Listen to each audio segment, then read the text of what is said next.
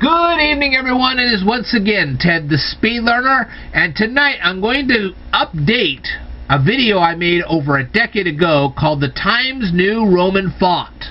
Okay, and I encourage everybody to look up what the Times New Roman Font looks like. You could very easily do that if you have a word processor. You can see it for yourself. Anyway, what I want to tell you guys is that I actually have five Kindle books and you can purchase any of them. If you're interested, let me know, and I'll send you a link to the latest one. You can read it for yourself. Check it out. In the meantime, let me tell you about the Times New Roman font. Who created this font and why? When and why was it created? Well, this font was created in London, England, of all places.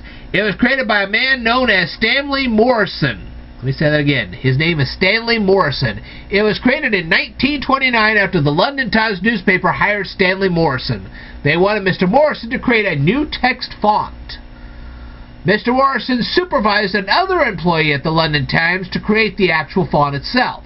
The name of the person who Mr. Morison was supervising was Victor Lardent. Mr. Lardent was an advertising artist, and Mr. Lardent drew the characters for the font. Apparently, newspapers prefer this font because it's very narrow.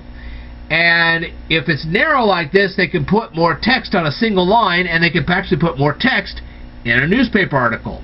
Okay, because of the narrow font. Alright. And that's all I got for you on that one. Nice and short and sweet. Alright, I will tell you more in a future video, so I'd like for you to stay tuned.